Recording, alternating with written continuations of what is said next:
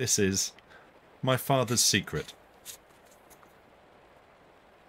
Strange how the merest trifles will sometimes call up, in the most vivid colours, a train of recollections we had fancied were so laid away in the lumber room we all have in some back recess of our brains, that they have lost all distinct form and reality.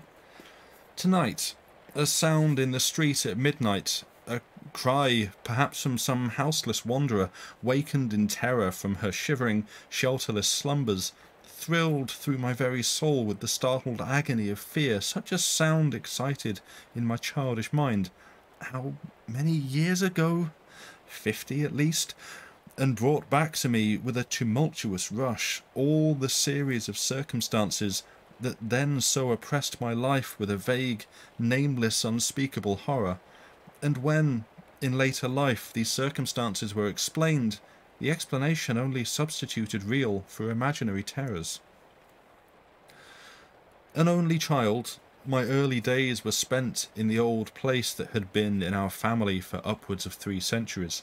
It was situated in Cornwall, near the sea, far from any town of the least importance, and it and our lives, my father's and mine, for I was motherless, were so isolated that often months, nay, I may say years, passed without our ever seeing a new face. In those days of which I speak, my father must have been still a young and handsome man, but children commonly have such incorrect ideas as to the ages and appearances of their elders, and of their parents especially, that the memory of my father always presents itself as that of a middle aged, sombre, silent, not generally pleasing or attractive man. I loved him less than I feared him, not that he was ever other than gentle and most kind to me, but somehow there was, I know not how, an uneasy feeling subsisting between us. We never were on the terms of fond protection on the one side, of clinging confidence on the other, that alone constitute the natural and healthy relations between father and child. What above all caused this uneasy sensation on my part was the consciousness. I cannot say when it first came, but come it did, gradually growing on me in a way whose oppression I cannot now recall without a return of its weight, that my father was constantly, furtively and secretly, but constantly, watching me. Watching me, too, with a sort of anxious, fearful expectancy, as if there was about me something alarming or unnatural that should stamp me as a creature apart from the rest of my species. From this thought came the yet more harassing one that such a feeling on his part might have a real foundation I knew not of. I can perfectly remember secretly studying my own face and figure in the large cheval glass that stood in an unused dressing room, my mother's, as I afterwards learnt, to discover if I had any personal peculiarity or sign or deformity that might in any way account for this singular demeanour of my father's, and watching my own words and habits and behaviour to test if in them lay the cause thereof. But I could myself discover nothing. The mirror only showed me a large, sorry, pale, large-eyed, delicate-looking boy, tall and slight beyond his years, with a particularly grave, reflective cast of countenance. These particulars, my recollection of my own image, rather than my then view of it, informs me and loose, dark, curling hair hanging over the forehead, and giving additional shade and solemnity to the eyes.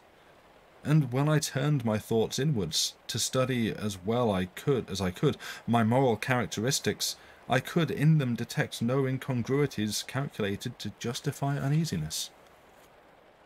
At last, never shall I forget the months of watchful terror that followed that supposed explanation of the mystery I fancied I had found a clue to the awful secret. Sometimes, weary with wandering about alone, I used to roam into the library, and, taking down a book by chance, try to find some amusement therein.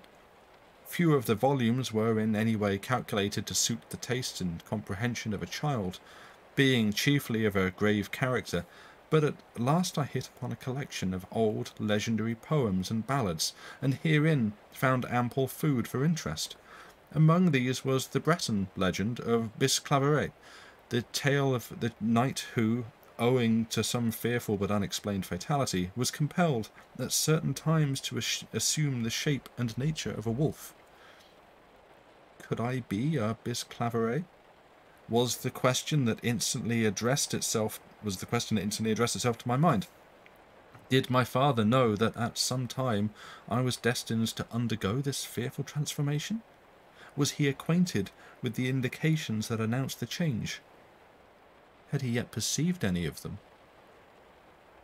Such were the questions that now haunted my waking thoughts and my nightly dreams, and as, no doubt, these terrible anxieties produced a visible effect on my looks and manner, my father, full of an uneasy terror whose nature I mistook, increased his painful surveillance, and, by it, my racking alarms.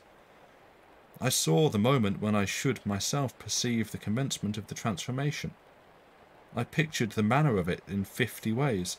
Sometimes I fancied it would be gradual, and I should see and feel the slow blending of the human and bestial natures, till the former should be swallowed up in the latter, and I should become for the time being, at all events, a real wolf. At others I fancied the change would be instantaneous, that, from a boy, I should suddenly spring into the raging, ravening monster, fall, who could tell, on those around me, my father, my nurse, my favourite animals, pony, dog, or bird, and then, with bloody fangs, rush howling an object of hatred and terror to all, into the dark woods that extended for miles around the house, ending, perhaps, by falling into the black abyss of one of the worn-out mines that were not rare in the district. Our house, which was a very large one, had been built and added to at different periods, and my father and I only occupied a comparatively small portion of one end of it. This portion was shut out from the rest by a door at the termination of a passage, which was kept so entirely closed up that I had never seen it opened, and the unused part of the house I had never once entered.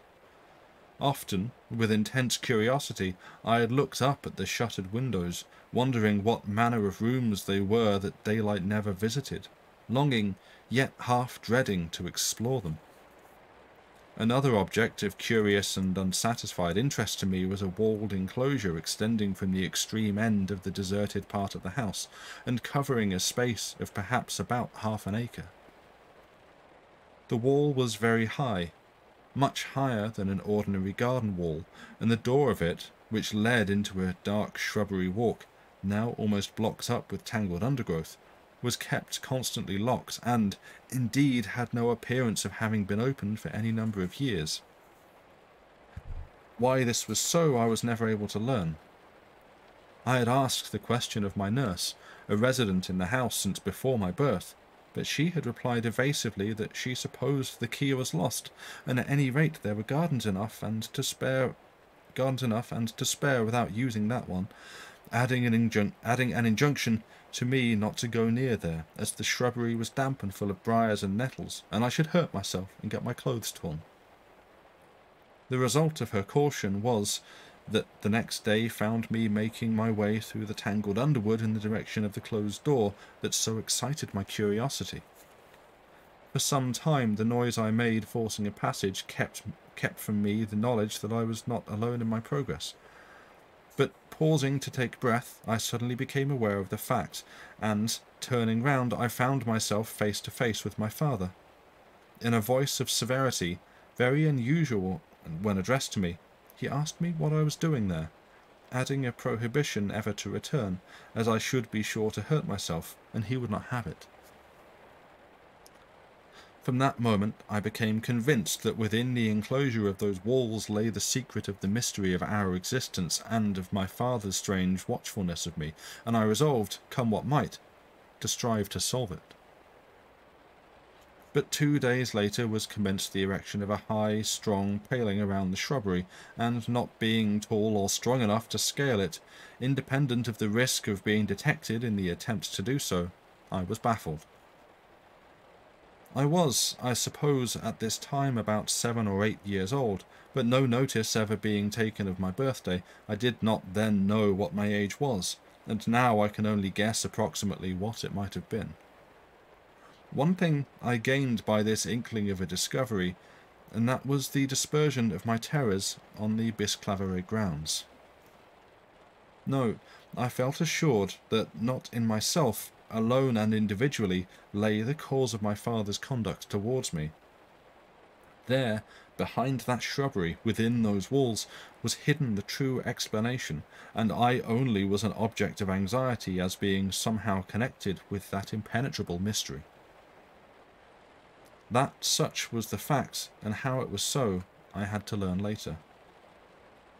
Months passed away, perhaps a year may have gone by, when one night I went to bed about my usual hour, half past eight or nine o'clock. It had been a hot summer's day, and a long ride had fatigued me so that I slept unusually sound. I was, for a child, rather a light sleeper in general, when I can describe the sensation in no other way than as that of being wrenched instantaneously from profound sleep into terrified waking. I was roused by a scream, so loud, so long, so agonized that I sprang up shivering with a ghastly horror that made the cold sweat burst out over my quivering limbs. In an instant my father, I slept in a little room opening from his, rushed in with a face I shall never forget, a look whose anxious terror was all directed to me, as if excited far less by that hideous sound than by the fear of its influence on me.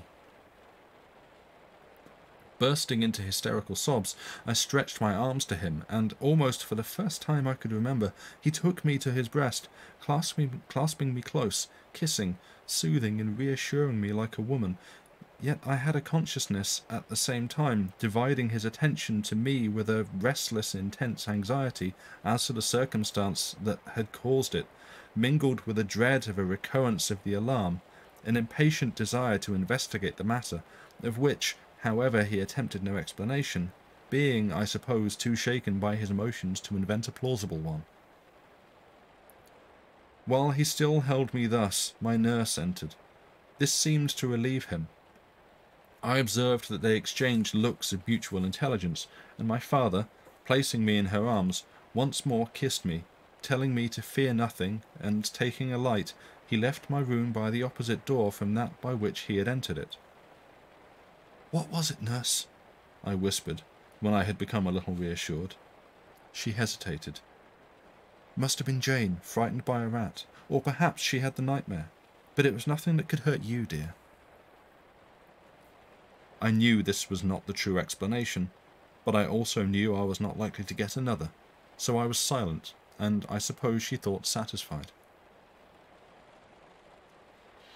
More than once, after that night, did the same harrowing sound disturb me, and sometimes the shrieks were not single, but iterated with fearful energy. On each occasion my father manifested the same intense disturbance and anxiety, though he endeavoured to conceal it from me, and invented some plausible explanation which I was forced to appear to accept, though my life was rendered miserable by the terrors with which this state of things beset it. One morning, after the shrieks had been more than usually terrific, my father, apparently driven into a desperate resolution, announced to me that we were going away for a time, that he would accompany me to our destination, and, leaving me with my nurse, he would come often to see me. I had never been from home before, and the idea of the change, yet less for its own sake than for the escape it promised me from my terror-haunted life, afforded me unspeakable relief. Whether the evidence of this awakened in my father more pain or pleasure, I can hardly tell. Certainly the feelings were mingled. In a week it was fixed we should go into Devonshire, where in a village known to my nurse we were to take up our abode, but for no specified time. I counted the days with eager impatience, and already five of the seven had departed. At night I had gone to bed, and fallen asleep with a pleasant, dreamy sense of approaching escape, and had slept, I suppose, several hours, when I suddenly awakened by the sound of the splashing of water in my room. Looking towards the washing stand, a night light, without which my terrors would not allow me to sleep, faintly lighted the chamber. I descried the figure of a woman whose back was towards me washing her hands. I had never seen her before, of that I was quite certain, nor anything the least like her. She was tall and thin, dressed in a loose, shapeless garment, and her hair, which was dark, was cropped close to her head.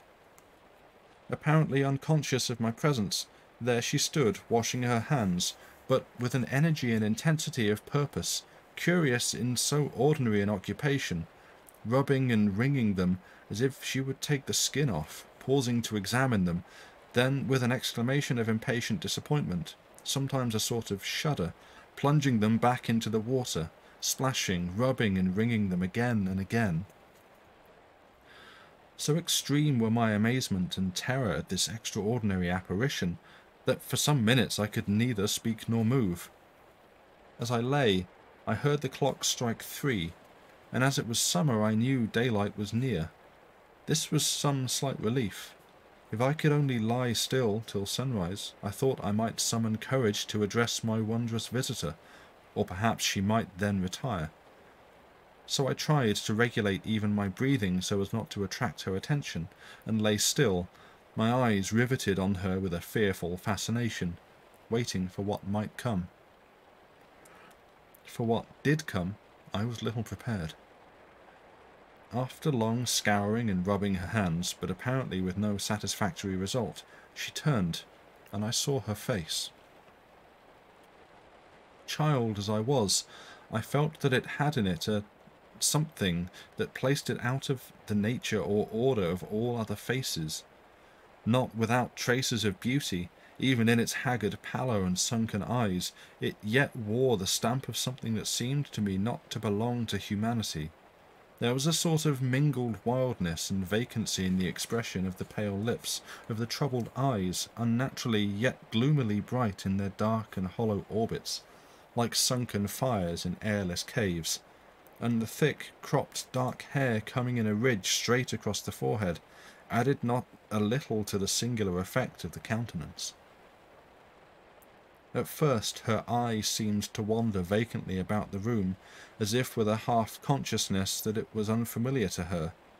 Then, after a while, it lighted on me. She came quickly up to the bed, gazed at me with eager, startled scrutiny, then with hasty hand drawing down the bedclothes a little way, she began feeling my throat. Feeling it, not graspingly or clutchingly or as though intending it any harm, but as if to satisfy some intense anxiety, to assure herself of some peculiarity respecting it. What followed I cannot tell, for with her hand deadly cold and wet on my throat, I became insensible. A brain fever was the result of this night's adventure, and then came a dark period I have never dared to inquire into the particulars of it, or even how long it lasted, of overshadowed consciousness, from which I awoke but gradually and with occasional relapses. That the period must have been considerable I know, for when I recovered I had arrived at another stage of growth, being no longer a child but a youth, and my father's hair was sprinkled with grey and his face marked with lines I did not remember. We were in France when I awoke from that long mental slumber, of whose very dreams I had no recollection, living in Brittany, in as retired a manner as we had lived in the old house in Cornwall. Then we travelled for some years, and so I grew to manhood, quite sane and in full possession of my mental faculties, but always with a lingering sense of instability in their tenure, a dread of aught that might tend to shock or shake them, and a shy unwillingness to join in the society of those of my own age, or indeed to go forth at all into a world which had never been other than alien and unknown to me. So I continued to the age of three and twenty, when my father died, died taking with him the secret that had so terribly influenced my life. But years afterwards, when time and the necessity of action had brought with them their salutary results, and that living like other men, I had become as other men. My uncle, my father's only brother, revealed to me the mystery. My father, at eight and twenty, had married my mother, then barely seventeen. She was very pretty, very childish, fond of pleasure and the amusements of her age, and having been one of a large and happy and well-united family, the change from her own gay home and circle to the lonely old house in Cornwall, and my father's grave, studious habits, fell heavily on her, and soon she pined in secret for what she had lost. My father saw it, and though deeply pained and disappointed, he was the first to propose what she was longing for, a visit to her family. This was some three months before the expected period of my birth. He took her to her home, and it was settled that there he should leave her till her confinement should take place, at which period he was to rejoin her, and, in due time, to conduct her back to Cornwall. But ere she had been more than a month away, news came to her that my father had been attacked with a pleurisy of the most dangerous kind, and she, smitten with grief and something like self-reproach, would listen to no persuasions that could keep her from him, and the next day, attended by her maid, set out, travelling post, to join him. Early in the morning, they had started, intending to sleep that night at a town of some importance on the way, but the roads were heavy, and the horses so jaded that it was evident they could not reach their destination till far on in the night, even supposing it possible to achieve that much, and already fatigue and anxiety were beginning to tell strongly on my mother. So there was nothing for it but to take the first tolerable shelter they could reach, and at ten o'clock they were glad to find themselves in a rural, but really not uncomfortable roadside inn. Supper dispatched, my mother was fain to retire to bed. The room, though small and poorly furnished, was clean, and the bed looked not uninviting, and the only serious drawback to its convenience was that my mother's maid had to sleep in a room above, there being none other unoccupied on that floor. However, as Wilson's chamber was the one immediately over my mother's, and that she was a light sleeper, it would be easy, by tapping with the point of an umbrella on the low ceiling, at any moment to summon her, in case of there being an occasion to do so. And so, in a short time, my mother, worn out with all she had gone through in the long day, dropped into a profound sleep, and one by one the lights and the noises in the house sank into darkness and silence, and only the mice held their nightly orgies behind the old wainscoting. Only in one room a light was still burning at two o'clock in the morning. About that time my mother awoke, but in such ghastly terror and horror that it seemed not like waking from wholesome sleep, but like waking from death in the place of outer darkness, where are weeping and gnashing of teeth. For something was clutching and tearing frantically at the bedclothes with a horrible gasping, gurgling sound unlike anything in or out of nature, and there was a struggling and writhing on the floor by the bedside as if the thing was striving to clamber up on it. And so strong was my mother's impression that this was so, that though unable to scream, she put forth her hand, as if to repulse the thing, and felt it come in contact with something hot and wet that clung stickily to her fingers. Then she found breath to burst into wild, ringing shrieks, and lights were brought, and lying by the bedside was a man in the agonies of death, with his throat gashed, and the blood welling from it and saturating the bedclothes, and crimson on my mother's hand. She never recovered her senses, and a few days after I was and a few days after I was born. My father, as soon as it was possible, much sooner than it was safe, for him to travel, came and took her and me, and me, the one mad, the other apparently dying, to Cornwall. Two rooms on the ground floor of the house were arranged for her, opening on the enclosure that had so often excited my curiosity, so that she might, unseen, have air and exercise. There, attended only by her maid, an elderly woman, attached to her from her childhood, and by my father, she remained till the period of her death, which occurred but a few weeks after the night on which I had seen her for the last time, for the first and last time. During the earlier years of her insanity, she had, unusually, been tolerably quiet, but some months before her death the infirmity took a new turn. She would be seized with sudden frenzies, uttering the shrieks that had occasionally reached my ears, going in imagination through the scene at the inn, constantly washing her hands to remove the blood with which her distracted fancy stained them, and examining the throats of my father, the doctor, and nurse as she had examined mine. And now was explained the meaning of the painful surveillance of me which, in my poor father, had so disturbed me. A constant dread was on him lest the condition of my mother's intellect at the period of my birth might exert an influence on mine. Day and night this terror haunted him. Every word, look, and action of mine was weighed and studied with this idea, and little did he suspect how this very anxiety, or rather the unconscious evidence of it, tended towards producing a state of mind calculated to engender, under existing circumstances, the very effect he dreaded. Above all things, he trembled lest the truth of my mother's awful fate should in any way reach me, and thus arose the mystery which I verily which I verily believe might have been yet more dangerous to me than even some knowledge of the rightful fact. Poor father, if error if error there were, it was wholly error of judgment, and I have no reason to blame him, to do other than regard his memory with pitying tenderness, to lament over a fate so undeserved and so terrible. He sleeps now under a monument I have erected in our parish churchyard, side by side with the wife from whom in life he was so cruelly divided. The unfortunate cause of the calamity which thus overshadowed the lives of a family proved to be a young gentleman, the son of Scottish parents, who, tired of the monotony of his quiet home life, had come south, fallen in with evil company, and, having disgraced the honest name he bore, resolved, in a moment of desperation, to end his life. No sooner, however, had his hand committed the fatal act than, repentant and terrified, his only thought was to seek assistance.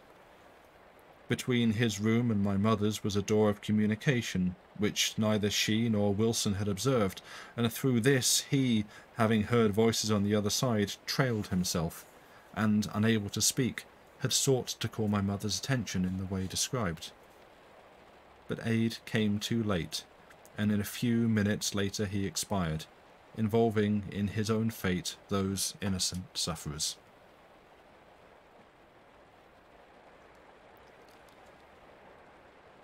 Well, that's a cheery one, isn't it? So, uh, yeah, that's that's my father's secret, as as the story is is called, and the yeah. So how we doing, chat? That was, as you may have guessed, that was the one with the content warning for self-harm. So hopefully everyone that needs that caught that and is aware of that. As I go for some water. Also, hey Sil, welcome. How are you doing? I hope you are. Hope you are well. Hope things are good. Um, yeah. So, what's the time? See, the, these stories were all quite long kind of just long enough to not really fit in two, which is why I'd only picked out two for tonight or tonight. So I'm wondering if I might take a bit of an early break and then come back for the next one. Um, because I've got basically there's two others that I have read. One which is quite a lengthy piece by Edgar Allan Poe, which is mainly just him talking about well, it, like the the protagonist's wife. It's just endless pages of him describing her face, and then eventually some stuff happens. Um, but I wasn't going to read that one tonight. I might come back to it. It wasn't like bad. It was just extremely wordy. Um, but yeah, the other the other one, there's some stuff in it that I really want to read, but it's also just very long, and I didn't really leave myself time to read it earlier. Um, but the other one that I'm going to read is called The Phantom Hare by the, yeah, the sort of enigmatically titled, that's the word I'm looking for, MH. But yeah, I think heating's coming on. Nice.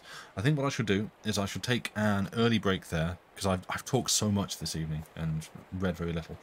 Um, so yeah, go to a break there and then come back for second half of this where I shall read The Phantom Hare. So see you in a minute or five. Don't forget, break for me is a break for you. So get up, walk around, stretch, refresh, yeah, refresh your tea and stuff like that. Don't refresh your tea. That's for a different week. We'll get to flesh tea at some point, no doubt. I'm sure. In one of there's going to be in one of these stories, but not now, not tonight. And see you in five minutes. Bye for now.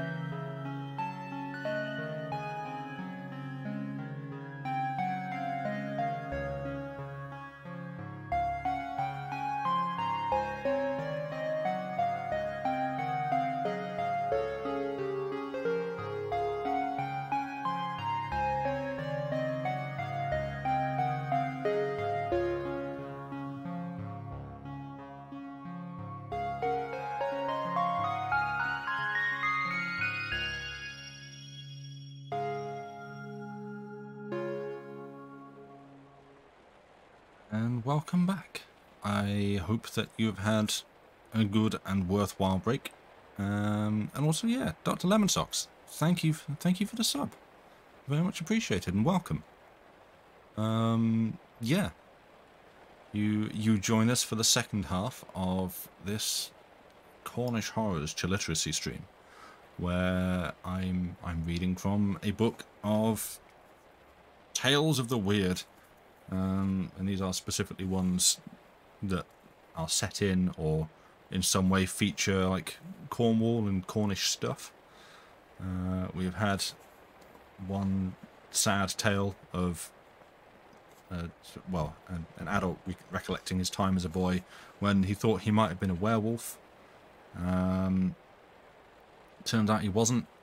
It's just that people at that time didn't handle mental health very well, and bad things happened and worse things happened as a consequence to many people.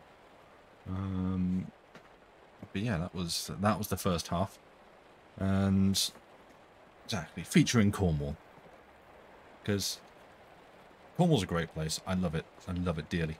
Um, and so yeah, when I when I saw this like book of oh we got Cornish gothic folk horror stuff going on, yeah, give me that. Sign me up for that. Um, yeah, this is this is the second the second of tonight's stories. Um, usually, if I've got like a bunch of shorter ones, I, I would try and go for longer. But I think, yeah, these ones are all quite long, and I've not like picked out and pre-read other things for today. I should try and do some more preparation for next week, so I've got like a range of things that I can be ready to read if if I've got some extra time. But tonight, I'm just going to do this one other one, which is is reasonably long. This should take a, a little while to get, get, yeah. Sorry, if you can hear a cat howling in the background, that is one of the cats here who, she is fine. She's perfectly fine. What she does is she catches a toy and then parades it around the house, like drags it in her mouth, just screaming for attention. Um, yes, exactly. The mighty hunter. She is. She has caught a toy her favourite toy to catch and wishes for everybody to know that it has been caught and slain and she is very pleased with herself. Um, so that's what's going on in the background. Other cat update, Joey is just asleep on the bed and seemingly quite content. Maybe he'll stay there, for the rest of the stream, maybe he won't. We'll find out in time together. It'll be a fun mystery. Um, I'm going to have some water. That's the sound you're about to hear.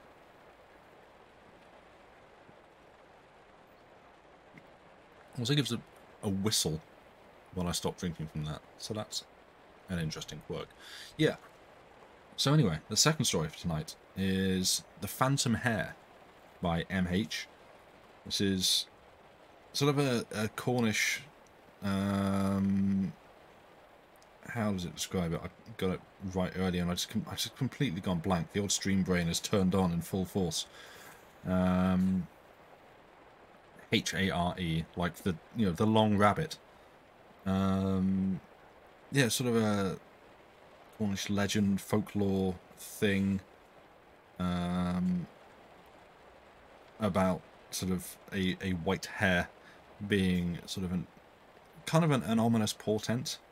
Um, just trying to see how it's put here. Um, in Looe in particular, Looe is a place in Cornwall. Uh, the white hare also warns of a storm at sea and is specifically feared by fishermen and sailors. Um, oh yeah, so uh, yeah, white hare of Looe, which has variants across other Celtic regions. In this legend, a woman betrayed by the man she loves wholly returns to haunt him in the form of a white hare. She will follow him unrelentingly, even warning him of danger to ensure he lives a long and guilty life. So that's that's what we're in for here. Um, again, I don't, it's it's sort of spoilers, I guess, saying like, oh, that's what the story's about. But you know, it's it's it's in the text. It's not like some big twist reveal about, oh, what does this mean? Because that's that's like a, a context and understanding that's been lost over the years as we don't hear these sorts of legends now. Whereas at the time that these were written and told, people would be like, a white hare, oh, that's bad. Tell me more. So, yeah, I, I, I feel like that's fine to, to read that little bit of information out beforehand. but yeah, without without much more talk, um, since you know you're, you're here to listen, not chat, I guess. Why not? I I'm going to carry on. And this is the second story for tonight, by by the author M H. It's called "The Phantom Hare." Bessie, did you ever see a white hare? A white hare? No, never. Why do you ask it? Susan Stanhope did not say why she asked it. She seemed to, to have come home in a kind of excitement. I saw her fly up the broad garden path between the beds, crowded with sweet and homely flowers, as though she were in a hurry to escape from some danger. Her light footfall ran up the stairs to our bedroom, where I sat sewing, and she burst in upon me with the above question. Do not you Cornish people attach some, attach some superstition to the appearance of a white hare, Bessie? She continued. I think I once heard Ma say so. Well, I fancy we do, now you speak of it, but I don't know what the superstition is. Susan folded the mantle she had taken off, put her bonnet up, and sat down in a chair on the opposite side of the open window. I had drawn my little work table as close to the window as possible, being anxious to finish mending Janie's frock, which she had torn at the Brook stile, and the twilight was already upon us. In September, we were in the earlier days of it, the evenings draw in quickly. We lived at the Mount Farm, a large estate belonging to the Bertrams, situated near Penryn in Cornwall. My father, Roger Trenathy, had been born in the parish. His people had rented it for several generations. He was what is called a substantial man, and was superior in cultivation to some farmers. But he lived in a homely style, and we, his children, had to work as, he said, all farmers' daughters ought. Roger was his only son, already as busy on the land as he was. As he was. In the eldest of all, uh, sorry, excuse me. I was the eldest of all. Eunice was next to Roger and seventeen this summer. Little Jane was ten only, and went, day boarder, to Mrs. Pollock's school. A great deal lay upon me, both of work and care. Our two maids were light-headed things, and Eunice was lighter-headed than they were. Our mother was dead.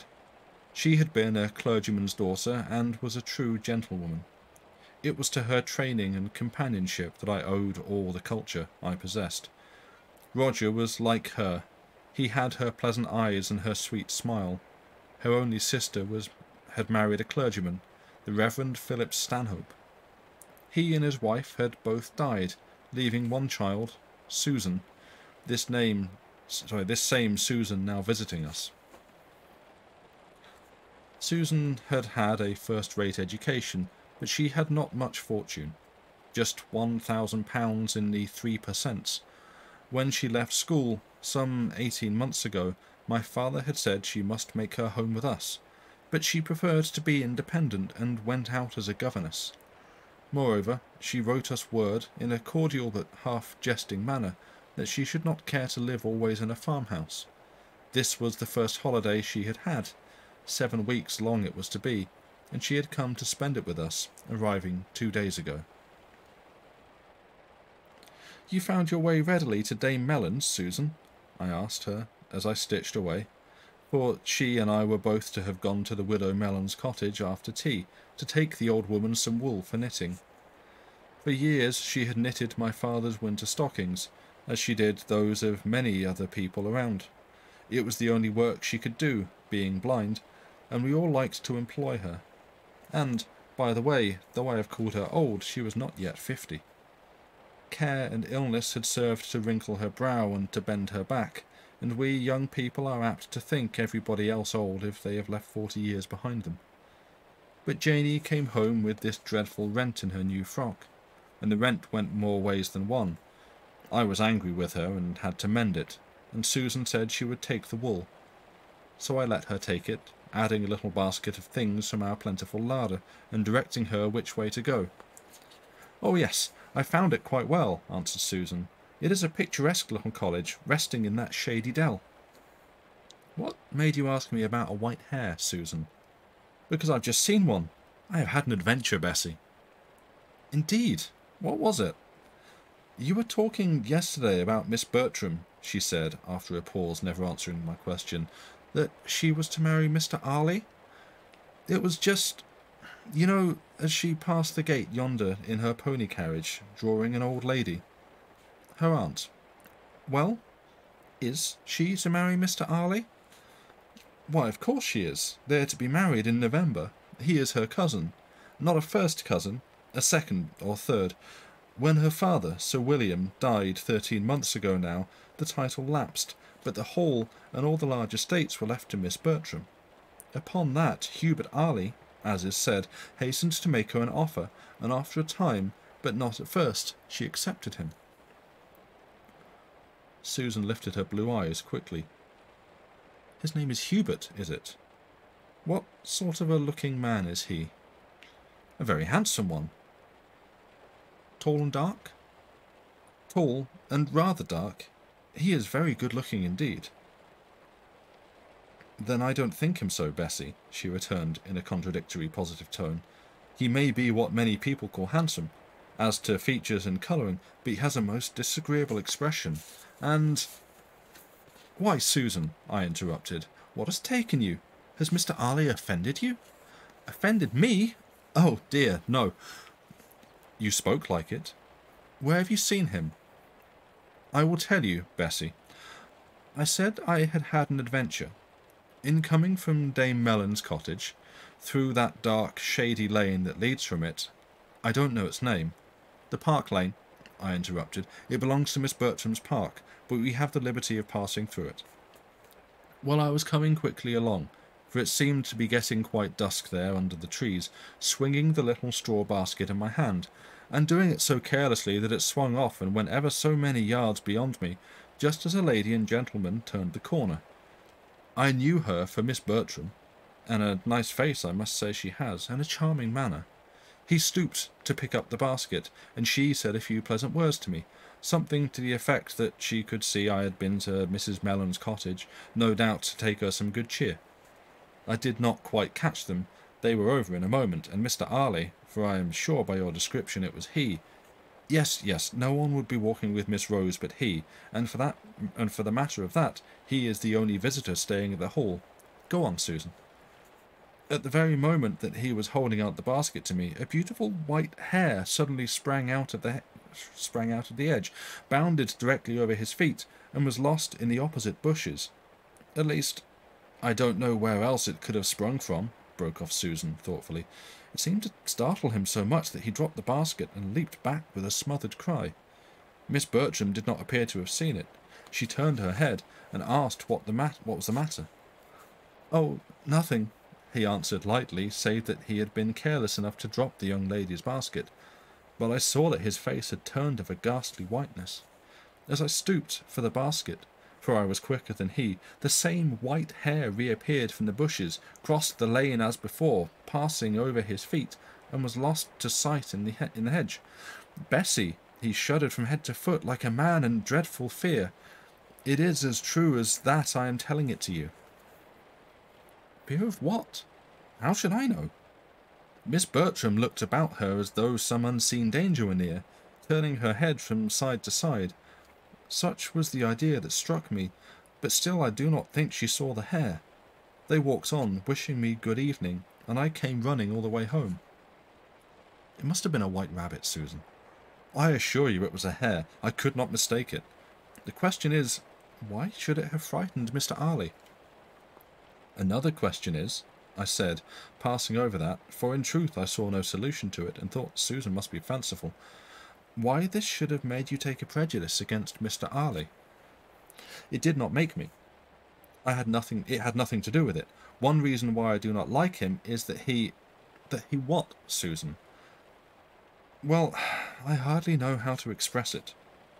But he looks at me in so free and ugly a manner, as if really, Bessie, it was just as if I were a lass o' lightness. I was silent. One or two disagreeable stories had gone about to Mr. Arley's discredit, and people wondered whether they had been quite kept from Miss Bertram. Possibly so, for they were not connected with our immediate neighbourhood, but with his own. He lived near St. Huth, near a village seven miles off, upon the small property that had been his father's. Rose Bertram's riches, apart from her own sweet self, must have presented a temptation to him. He passed his time chiefly in London before being engaged to Miss Bertram and made debts there. You give that as one reason for taking a dislike to him, Susan, though possibly you are mistaken. What is the other? The other is a private reason of my own, Bessie. I cannot tell it. She sat on the window in deep thought, her blue eyes strangely serious as they gazed outwardly on the gathering gloom, her right hand pushing back unconsciously her fine golden hair. At length, just as it got too dark to see, I made a finish of my work, and we went down to the parlour. Eunice was helping Patience to lay the cloth for supper. Father and Roger were coming in for it. Janey had been in bed long ago. The last thing we did at night was to sing the evening hymn, I or Eunice playing it. Susan offered to play tonight. She was a skilful musician, as compared with us, and her soft touch was of itself melody. It was Susan's custom to read the Psalms for the evening to herself after we got into my bedroom, which she shared with me. On this evening she sat down as usual, but almost immediately closed the prayer book no, I cannot read tonight. It is of no use, she cried almost passionately. My wandering thoughts will not let me. I turned round from the glass, unpinning my collar, and looked at her. Her cheeks were flushed, her eyes wore a troubled light. Bessie, will you let me tell you a tale? Certainly I will, dear. Then let us put out the lights and sit at the window. She clapped the extinguisher. Sing, uh, she clapped the extinguisher on the candle herself, and we sat down at the window, closed now. It was a fine night, the moonlight flooding hill and dale, the bare cornfields, the pasture lands, and the houses, large and small, scattered among them. You know, Bessie, that when Mamma died, I was placed at school at Walborough for two years to complete my education.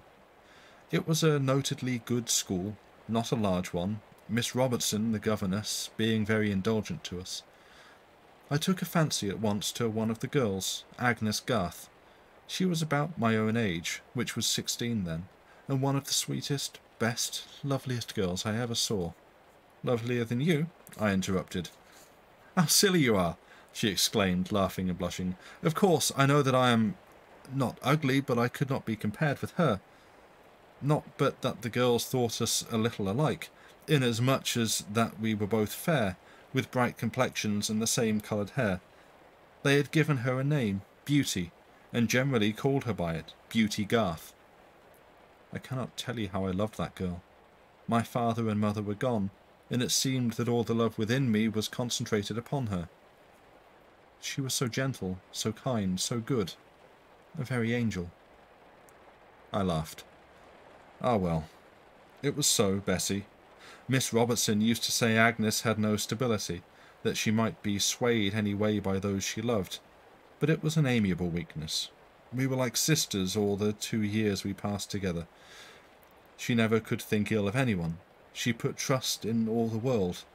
A sort of cloud hung over her. A cloud? Well, we never could find out who she was. The rest of us talked freely of our home and friends, of our past life, but she was silent as to hers, even to me. An impression obtained in the school, I know not whence derived, that her mother was an actress at a theatre in London. Her father she had never known. That much Agnes did tell us. Miss Robertson never spoke upon the subject. Agnes was treated just as the rest of us were, and we knew nothing. Did she go home for the holidays? No, she passed them at school, as I usually did, and perhaps that served to draw us closer together. My two years were nearly up when one day, when we were with the German master, Miss Robertson sent in for Agnes. And when the class was over and we got back to the ordinary schoolroom, we heard that Agnes had gone to London, in answer to some message received by the governess. She came back in a month's time in deep mourning and told us her mother was dead. But though her frank spirit was subdued and saddened by the loss, There was evidently some deeper joy within her that had not existed before. I found out what it was. Beauty was in love. She had met a gentleman in London, and was already secretly engaged to him. She would not tell me his name or who he was, though I asked it over and over again. There will be no necessity for me to be a governess now, she said to me one day, for that's what she was to have been, as her mother left her little, if any, fortune. How old was she, Susan? Eighteen then, just as I was. This was last year, in the earlier part of it. I left the school at Easter, you may remember. Yes. This the week previous to it, I was invited to spend the evening with some people in the town who were kind to me, and having formerly lived near Papa's rectory. They having lived having formerly lived near Papa's rectory. Beauty was also invited out elsewhere the same evening. It chanced, in returning home, that we both reached the door together. An old maid-servant was my escort. Beauty's was a tall, handsome young man. She held his arm, and I divined, as by instinct, that her lover had come to Walborough. I had a good look at him. The gas lamp shone right upon his face. He wished her good night abruptly, and was turning away when Agnes stopped him. This is Miss Stanhope, of whom you have so often heard me speak, she said and of course politeness compelled him to stop and say a few words to me. Not many. Before the door was opened to us, he had lifted his hat and was gone. Don't tell of me, Susan, Beauty entreatingly whispered. Miss Robertson might not like it. And did you tell? Why, of course not, Bessie. Would we tell tales of one another? Besides, there was no harm, that I saw, in his just walking home with her. I suppose the friends she had been with sanctioned it. Go on. The next week I left school and entered on the situation Miss Robertson had procured for me at Lady Leslie's. It was a long, long way from Walborough, about midway, you know, between that place and this, Penryn. Beauty and I could not expect to meet often, but we promised each other, amid our farewell tears and kisses, to correspond constantly. Bessie, I never got but two letters from her. I felt surprised at Susan's tone more than the words but two letters. One of them was written from school, the other only a week later from London. She had left Walborough, she told me, and was staying with some friends in London until her marriage, which was to take place immediately, and she only wished I could go up to be her bridesmaid, which, of course, was not to be thought of. After that, I never heard from her. And have you never heard yet? Listen. A few months later, at the close of August, I think, or beginning of September, I know it was a warm, hazy day, I was in the schoolroom correcting exercises, my pupils being out walking with their French maid, when one of the servants came up to say that a young lady was asking for me, and showed her in. It was Agnes, and as the door closed she fell into my arms with a sort of moan. How terribly the girl had changed in the five or six months since we parted, I cannot express to you, Bessie. Her once lovely face had become thin and drawn, her once pretty rounded shoulders sharp. I could not speak for dismay. I saw something was wrong. She clung to me, sobbing and shivering. I was obliged to come to you on my journey, Susan, as this place lay in my way. She gasped out. Some power that I could not resist compelled me. It is only for a few minutes, Susan. Only just to see you, Susan, and then I shall be gone again. Are you married, dear Agnes? I whispered, kissing her tenderly. I thought I was, Susan, she said. I thought it all that what sorry. I thought it all that while, though he would not let me tell you or anyone. And with that she sat down, poor weary girl, and laid her face moaning against the long desk. You speak of a journey, dear, I said. Where are you going? But she did not answer. There was a faint bluish tinge about her lips that I did not like. Evidently she needed both food and rest. The thought came over me to beg of Lady Leslie to allow her to stay a day or two with me. I felt sure she would, being a kind, motherly woman. Stay here a few moments, dear, I whispered, kissing her wan cheek. I'm going to bring you a glass of wine and a biscuit. Lady Leslie, I found, was with friends in the drawing room. I hardly knew what to do not liking to call her out or to speak before them. While I was hesitating, they came out to depart, and then I spoke to Lady Leslie, telling a little of Beauty's history and hinting at my fears that something was wrong. By all means, let Miss Garth stay for a few days, Lady Leslie warmly said. If she is in distress or any kind of trouble, all the more need that her friends should see after her. The children, sorry, the children might have holiday, and I could devote myself entirely to her. I was so pleased and grateful, Bessie, that I burst into tears. Then I ran to get a glass of wine from the butler and returned to the schoolroom. It was empty. Beauty was gone. Gone? Quite gone. She must have left the schoolroom almost as soon as I. One of the servants met her in the hall and opened the door for her.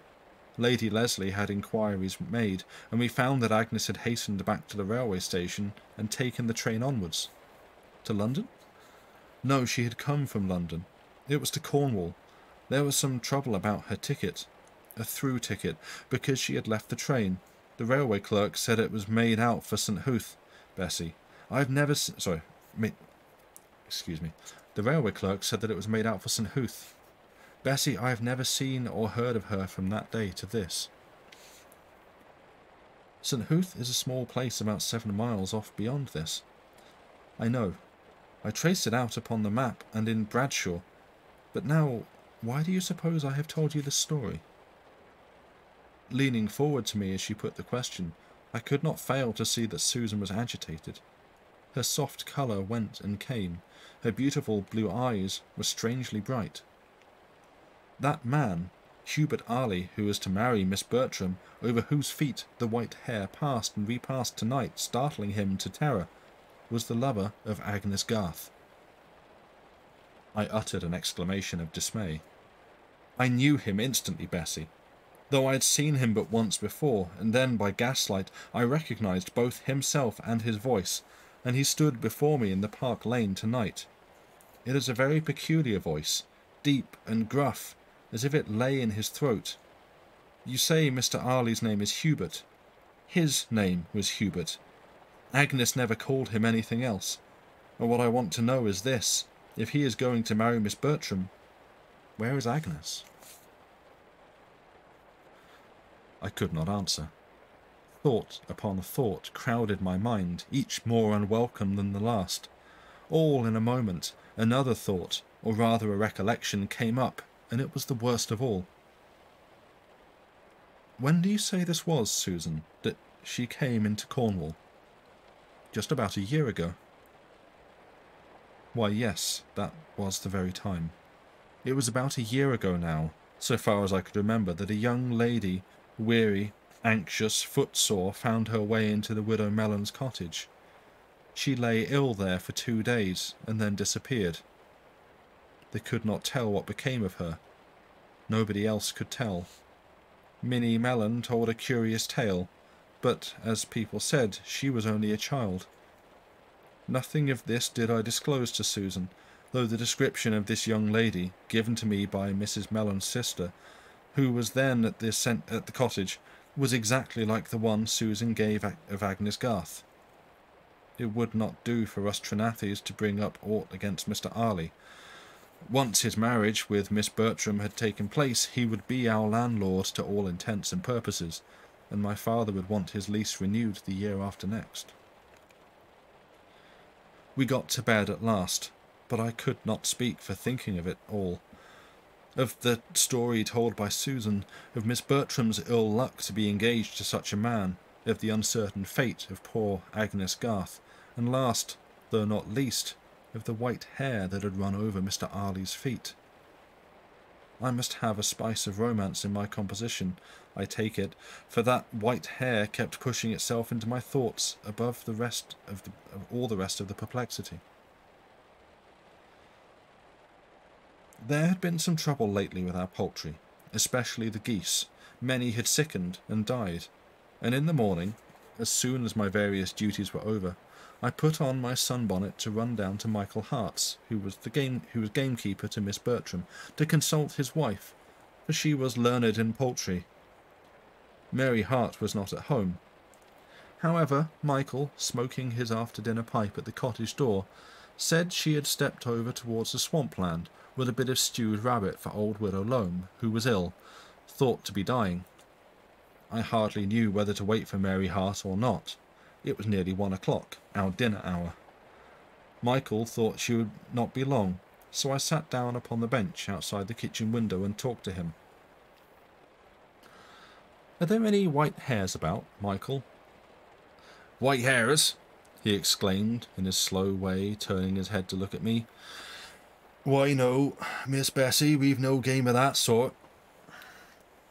My cousin, Miss Stanhope, thought she saw a white hare cross the park lane yesterday evening. Must have been a rabbit, said Michael, just as I said to Susan. Folks don't like the white hares in this country, he added, changing his pipe from one hand to another. They bode no good when seen. But how can they be seen if there are none, Michael? Well, it's thought the white hares are not real hares, but spirits, Miss Bessie, apparitions. I never saw a white hare but once, and don't want to see one again. You have seen one, then? I saw that one, Miss Bessie. It's a matter of ten years ago. Do you remember as far back as that? Of course I do, Michael. I am 22. Excuse me, just being attacked by a cat that wants somewhere to sit. In that red house over yonder, you can see its chimneys above the trees, lived old Treherne and his wife and son. Young Treherne was a bit wild, and gave him some trouble, but you know naught about that. One autumn day, when I was out with Sir William at a party of the guns and dogs, young Treherne, who made one of the gentlemen, lagged behind the rest, telling me of a dog of his that had been sick. When, just as we were crossing the five corner coppice, a white hare, as it looked, ran out of the brushwood right over his feet. Right over his feet, Miss Bessie. I never saw such a thing afore. Young Treherne didn't much like it. I couldn't see I could see that, and he jumped aside ever so far.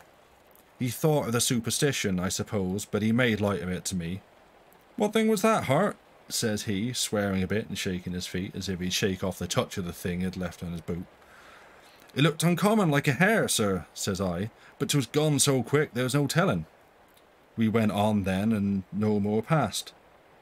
Nine days after that, young Treherne died.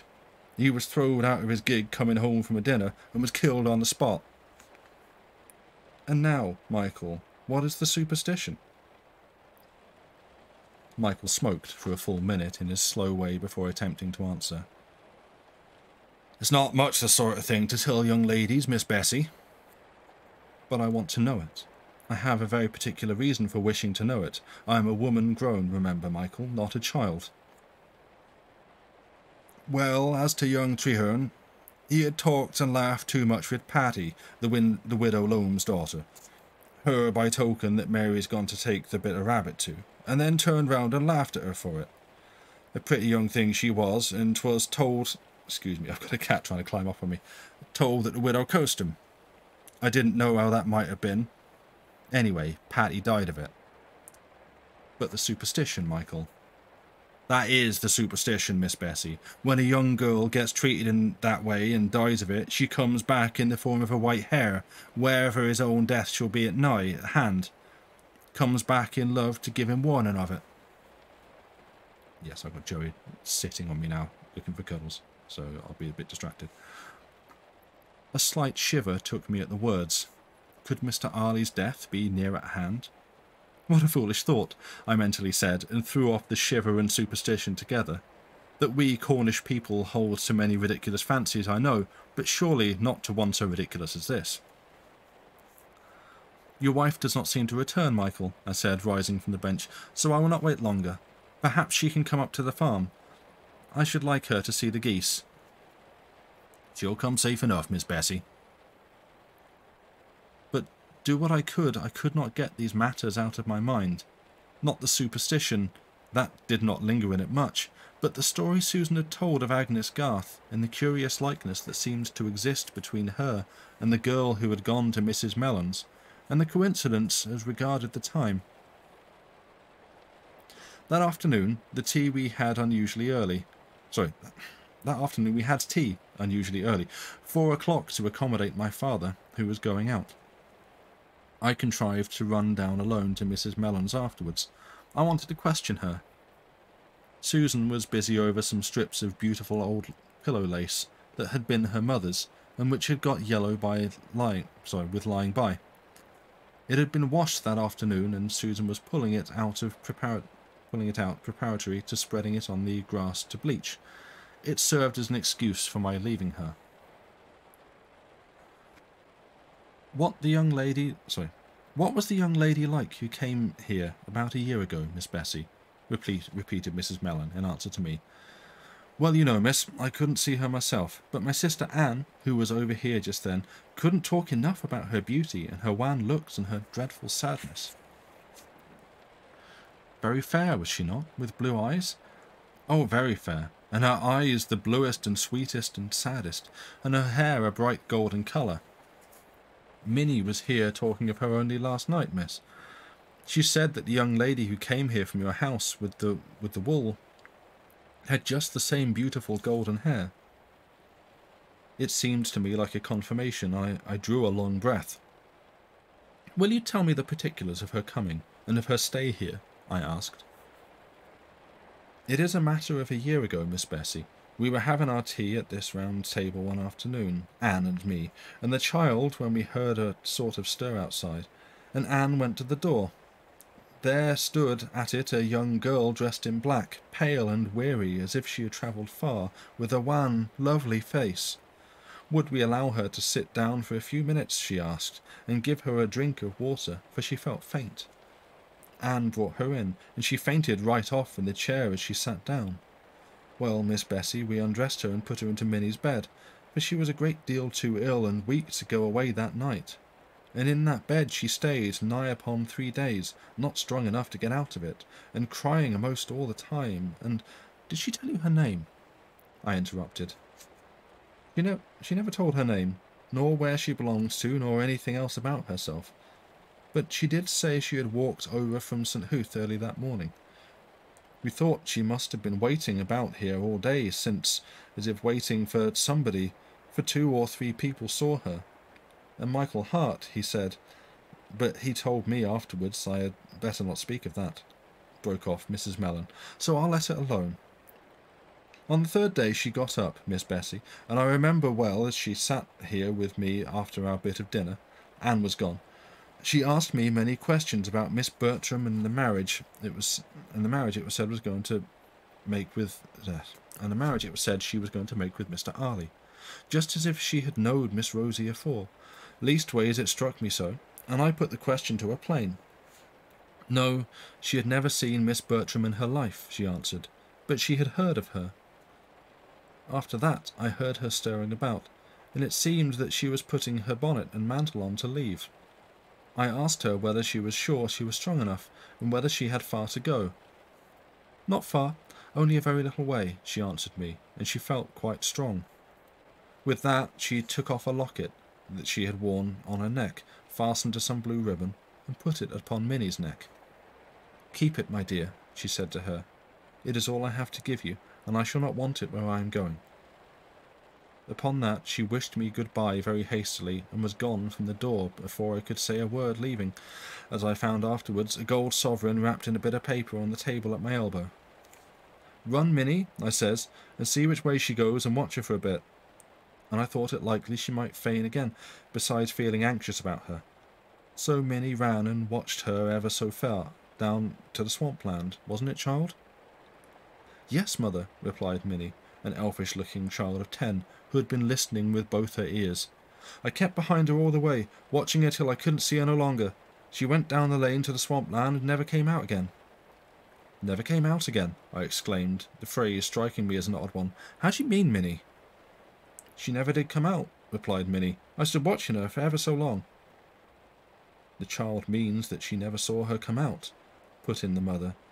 She didn't like to follow her too close for fear of being seen. Did you follow her down the lane, Minnie?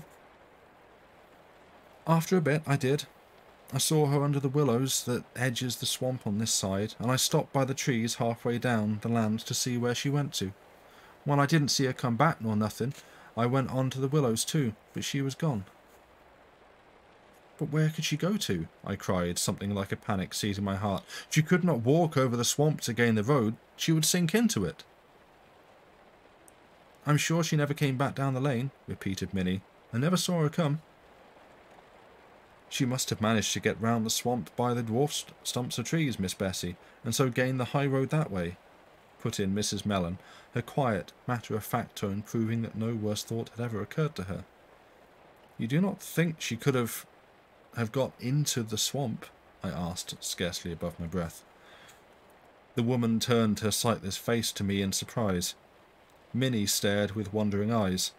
The idea to them seemed very far-fetched. Why no, Miss Bessie, there was no fear of that kind. There wouldn't be. Had the poor young lady lost her footing and fell in, which was not likely, she'd naturally have cried out, and there was Minnie at hand to hear her. The conviction that, had she put herself in purposely, she would not have cried out, ran through my mind like a flash of lightning, and then I mentally called myself a wicked girl for thinking it. Would you let me see the locket she gave Minnie? I asked aloud. Dame Mellon took a small key from her pocket felt her way to the dresser and unlocked a tea caddy that stood on it. I keep it locked up for fear Minnie should lose it, she remarked, placing it in my hands. These small things are so easy dropped, and children be so careless. Ah, no need to take a second look. The golden locket had a lock of golden hair inside it, Susan's hair, beyond all doubt, and it bore the inscription, Susan to Agnes. I should like to show this to my cousin, it is very pretty, I said impulsively. Will you let me take it home, Mrs. Mellon? You shall have it back tomorrow. Ready permission was given, and I, I was desired not to be in a hurry to return the locket.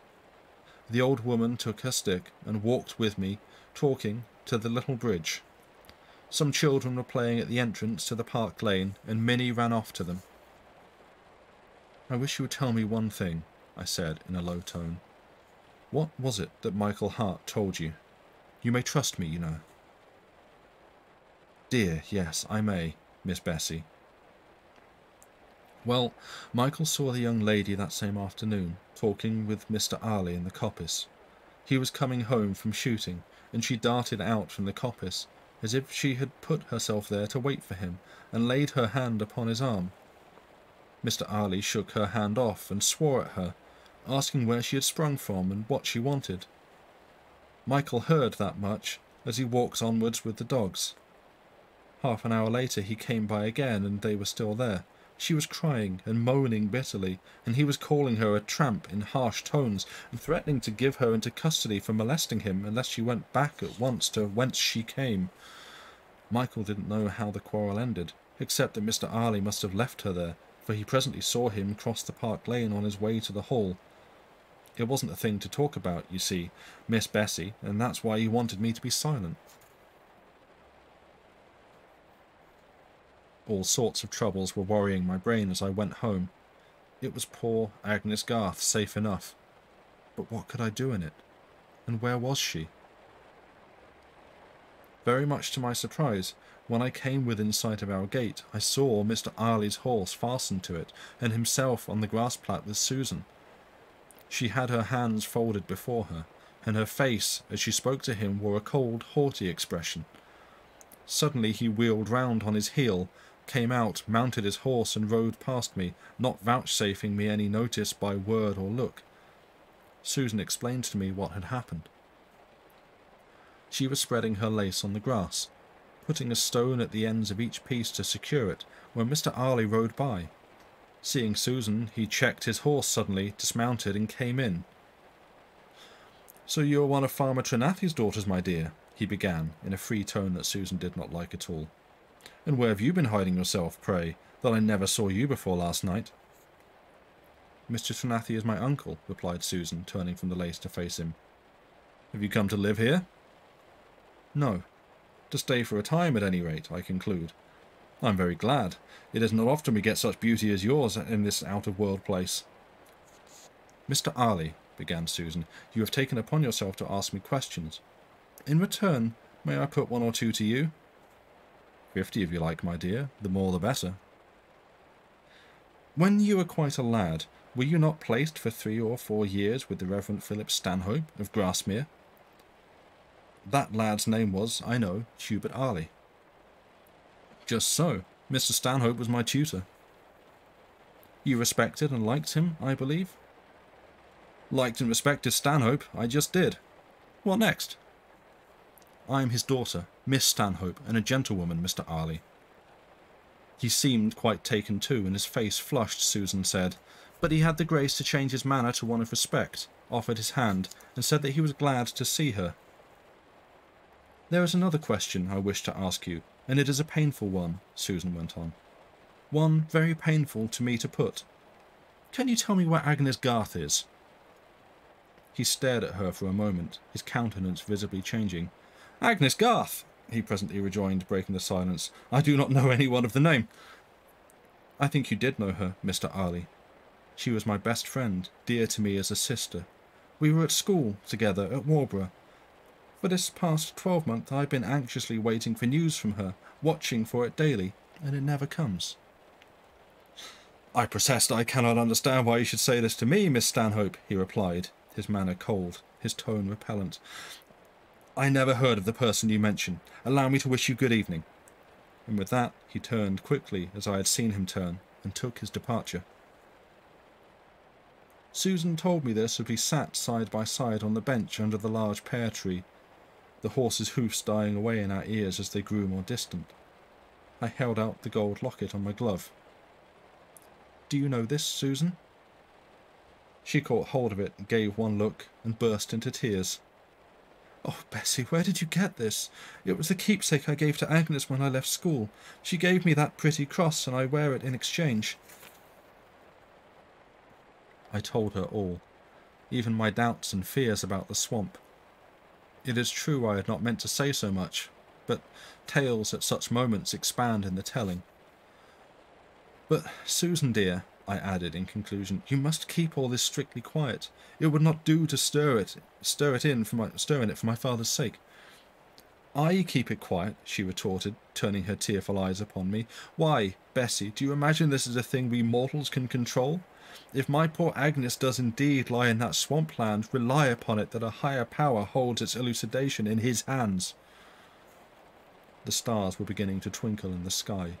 The moon was rising, the scent of the closing flowers was almost lost in the cool air, and still we sat on. Out came Eunice, wondering why we stayed there when we must know the early supper was ready. You will take me to look at this swampland tomorrow, Bessie, whispered Susan as we rose.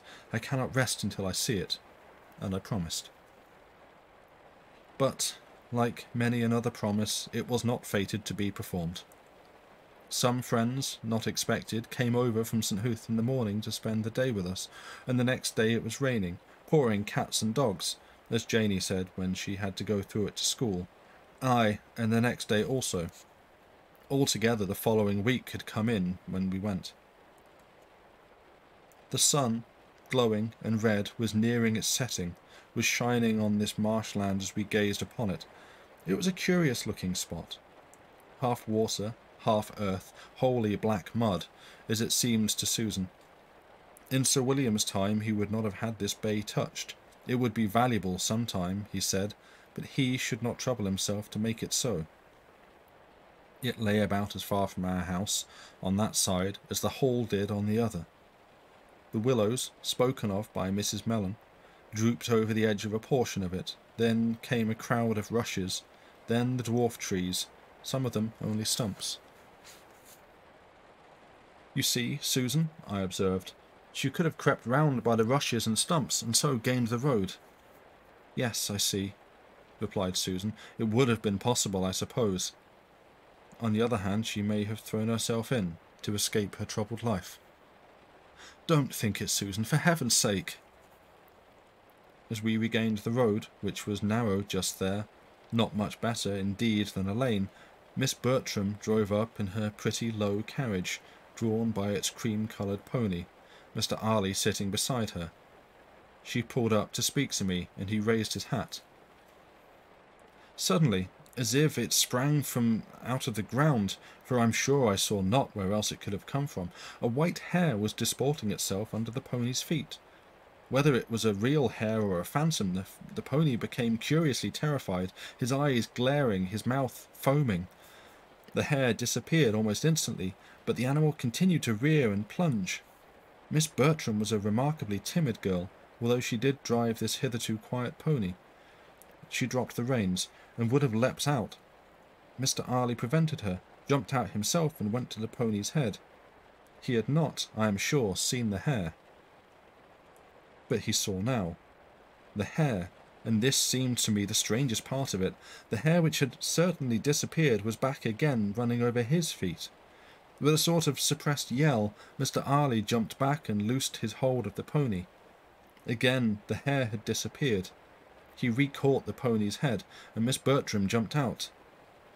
Selim, what can be the matter with you? she cried, addressing the pretty and trembling cream-coloured animal. Did you see anything frighten him? she added to me. Did you, Hubert? But what could I answer? Nothing. Mr. Arley was now leading the pony forward when he seemed quiet. And sorry, and when he seemed quiet, they got in and drove off, Mr. Arley taking the reins. Once more, but this time we only knew of it by hearsay, Mr. Arley was frightened by the white hare. It was on the following Sunday. He was walking across the churchyard with our clergyman, Mr. Chasnell, they having stayed in the vestry after service to discuss some parish business, when, just as they were going by old Mrs. Barton's high tomb, a white hare ran across Mr. Arley's feet, seemed to stand on them for a moment. Why, that looked just like a hare, cried the clergyman. Where has it gone to? Has it startled you? He added to Mr. Arley, seeing that his face had turned whiter than death. I... I don't know what it was, replied Mr. Arley as they looked about. But the hare was gone. The Reverend Charles Chasnell talked of this, that's how it came to be known. He told people that he had seen a white hare. Being a stranger in Cornwall, just appointed to the living, he had never heard of the superstition.